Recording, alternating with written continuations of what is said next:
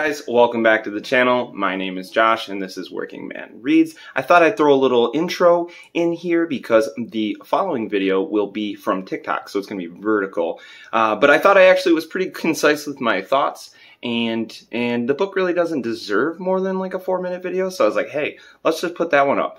But uh, this will be my following review for uh, Nothing But Pretentious Prose. No. Uh, nothing But Google Searches. No. Nothing but Blackened Teeth. That that book. Uh, so yeah, if you guys have read it, let me know down below. I'm just poking fun at it because I really hated it. It was the most disappointing book ever. Spoiler alert for for my review, but I hope you guys enjoy my review or hate it. But YouTube took away the ability for you to show me in the dislikes and uh, bring back the dislike button. I, I didn't mind it, but all right, guys, let me know down below what you thought. Bye. So what did I think about Nothing But Blackened Teeth? Well, I gave it one star, and I have multiple reasons for that. A quick synopsis of it is that a group of friends, I say that in quotations because they all have like love triangles and um, just drama in between each other, and they don't really seem to like each other very much. And you don't really, you're dropped into this and you don't give a crap about the characters. So I would say that the character work in this was absolutely dreadful. Uh, the plot was that they are all going to this uh, haunted mansion in Japan for a wedding of their friends.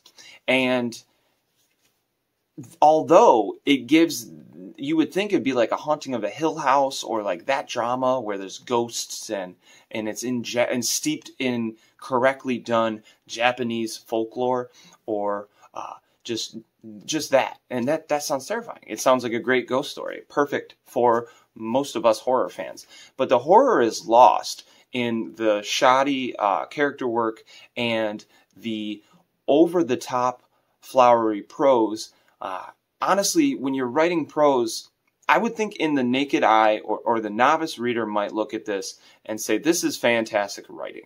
And although the writer, the author is a, a talented writer, sometimes you need to know when to pull back.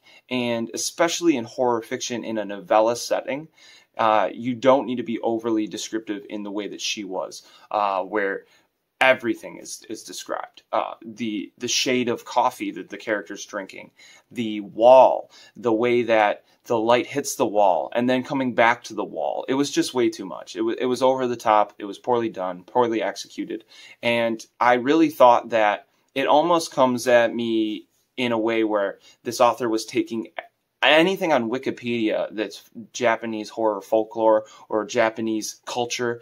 And honestly, it, it came off kind of uh, pompous and arrogant that they were just throwing everything at the wall. Just here is every Japanese term I can find on Google, and that pulls you out of the narrative because I'm finding myself searching things online multiple times a chapter. I don't mind reading a book and looking things up so that I can better educate myself as a reader and a person and learn more about a culture.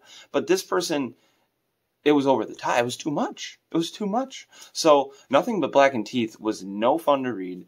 It was terrible with horror. It had a phoned in ending and yeah, I know people are loving it, and I'm probably going to get some hate on this video, and that's great. I hope you love it. But to me, the best part of this book was the cover.